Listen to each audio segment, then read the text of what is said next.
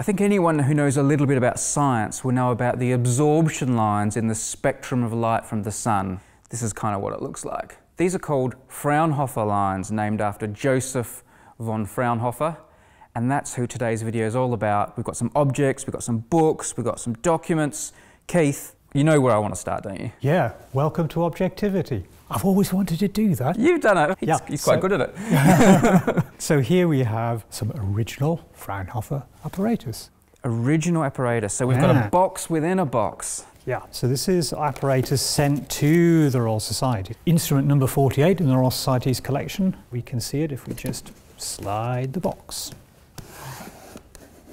Oh yeah, lovely. I can see we've got like a metal tube, we've got bits of glass. Mm-hmm. It's a mixed bag of things. So Fraunhofer's instrument is, is based around a prism, which you can see just there, because he wanted to create a spectrum. In order to do that, he had to have light sources, and he used six lamps apparently that went through six filters, uh, so gratings, and I went through another grating, and then he would observe at a distance through a mini telescope. So it's quite a complicated little setup. But what he's trying to do is to observe those dark lines in the spectrum.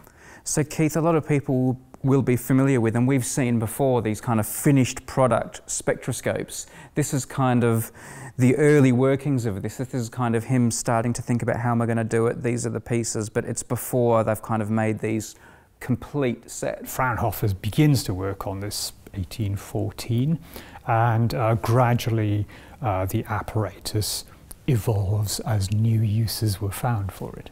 Let's unwrap a few of these. It's like archival Christmas. Ah, right. So actually, we've got another prism there. That's a nice one. May I pick this up, Keith? Yep. Wow, Different prisms. look at those.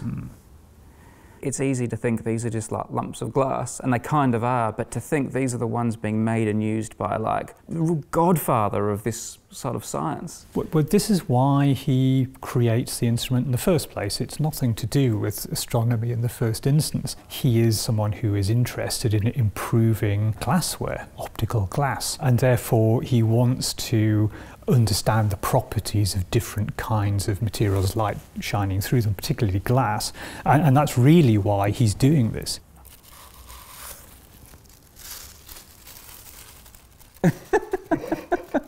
That looks cool, looking at James. And it's all rainbowy. It's amazing.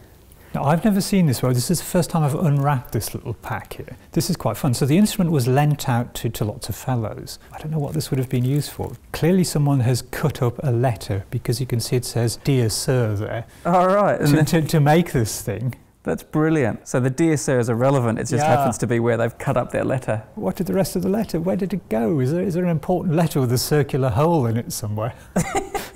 That's great. He sent this to the Royal Society, but he wasn't sending it to them to say, look at the marvellous apparatus I've made. He was sending this as, here's something for your scientists to use.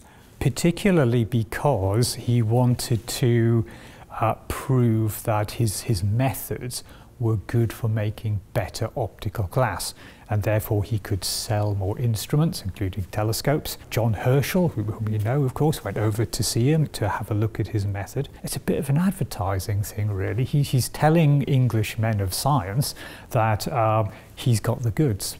Place your orders. A bit like how these days someone will send a product to like Instagrammers and that hoping to get kind of, you know, Yeah. a bit of publicity. If the Royal Society like your instrument, Yeah. then you're doing something right. it's good. Send off to Germany to buy a, buy buy one of those. Uh, here's we, the big we have to get the uh, Oh, this yeah. fella out. There's your telescope. So just take the cover off there. lens cap. Let me be. Look through that. And there's a lens on the other end. I think. there we go. Nice.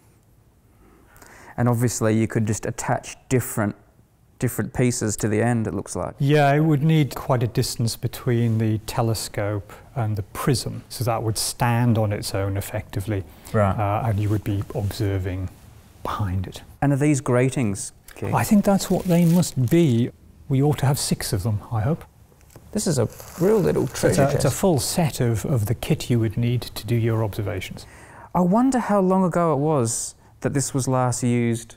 You know, in anger. I mean, well into the 19th century, they were still getting requests to borrow Fraunhofer's apparatus. And Royal Society instruments went all over the world. By the time the government grant came along in 1849, uh, the Royal Society had a, a, pot of money where it could buy instruments. So uh, many of the instruments we have are, are, 18th century, this one's 19th, but by 1849 they, they built up a huge stock of, of government instruments that again they, they would lend out. Now of course no objectivity video is complete without some accompanying documents and other treasures dug up by Keith and you haven't let us down. Well, we have here the personal recollections of Mary Somerville. Of course, Mary Somerville wasn't able to be a Fellow of the Royal Society because they weren't electing women in those days, but she was a great mathematician, physicist, and uh, this is her life story. She, she wrote up her life. And there's an interesting passage in here that I think we, we ought to read. Now, Keith, I think it's only appropriate that we go over to that fabulous bust of Mary Somerville over there for this reading. Yeah, what do so you say? You can, you can pretend she's doing the talking. Okay. Here is Mary Somerville. Should have been a fellow, really, shouldn't she? Should have been, yes. Yeah. And she was really held in great esteem by fellows of the Royal Society. And of course, that's why they commissioned the Francis Chantrey bust. But here's her personal recollections, edited by her daughter. She gives a little account of uh, those spectral lines that we were talking about. So she says, One bright morning, Dr. Wollaston came to pay us a visit in Hanover Square, saying, I have discovered seven dark lines crossing the solar spectrum, which I wish to show you. Then, closing the window shutters so as to leave only a narrow line of light, he put a small glass prism into my hand, telling me how to hold it. I saw them distinctly. I was among the first if not the very first, to whom he showed these lines, which were the origin of the most wonderful series of cosmical discoveries. But isn't that exciting? Like, Wollaston was actually the first person to see these lines before Fraunhofer, and, and he was like, this is like this is yeah, history. Yeah. So Wollaston sees seven of these lines, according to Mary Somerville, but then Fraunhofer goes away and, and really studies them and catalogues hundreds of these things. So, he really uh, goes. He really did the, the, the, serious research. But she mentions him, doesn't she? Here, uh, doesn't she later yeah, in the message? that's that's right. So just to continue on here, so these discoveries have proved that many of the substances of our globe are also constituents of the sun, the stars, and even the nebulae. Dr. Wollaston gave me the little prism. I wonder where that is now. Oh. Which is doubly valuable, being of glass manufactured at Munich by Fraunhofer. Oh, okay. So they were using his glass. Mm-hmm. Yeah. Right. Yeah. Okay. Now, these spectral lines, you've got something else for us over here, haven't That's you? right. I, th- I think uh, we've talked about them a lot. I think we should see them in all their glory. So we should see Fraunhofer's spectral lines. Okay. Wollaston first sees these lines in about 1804. Uh, Fraunhofer begins to look at them seriously, and this is his 1814 paper. Oh, the paper's in German. Okay. Oh, yeah.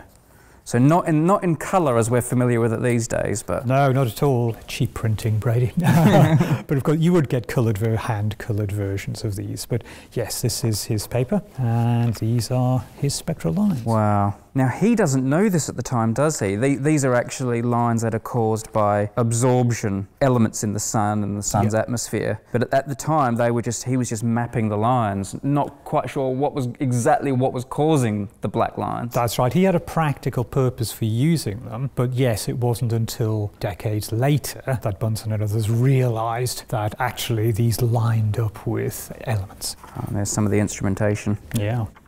Look at that. So this is a series of tracts. So it's uh, it's a collection of pamphlets and short papers that the Royal Society accumulated over the years. So they've just been bound. It's been bound together with lots of other papers about physics. And Fraunhofer almost didn't make it to do this. Of course, there is a story that when he was first apprenticed to an optical glass maker that the laboratory collapsed on him. He, he had to be dug out. So he had a narrow escape, but after that, patrons took an interest in him because of his escapade there. And that's how he got an education. They began to pay for his studies. It's a bit like the Faraday story in some ways. Faraday got his start because Humphry Davy had a laboratory accident. It's always better when it happens to someone else, I would think. Uh, but again, these are the kind of accidents of history that without which, you know, maybe we wouldn't have had any of this. We know very well of, of, Isaac Newton's prism experiments and, and, and breaking uh, white light into its constituent colours. And you can see uh, just through there, there's a, a, prism, glass prism, Okay, so there's the prism. Now we'll put this eyepiece back into place, Mhm. back to the proper configuration. There we go. This is like the telescope. This is where the light's coming in. That's correct. You point this at your what something like the sun, I guess. Yes. Our light comes down, hits the prism, does Yep. its thing, Yep. and we observe And it. this is the observer's position.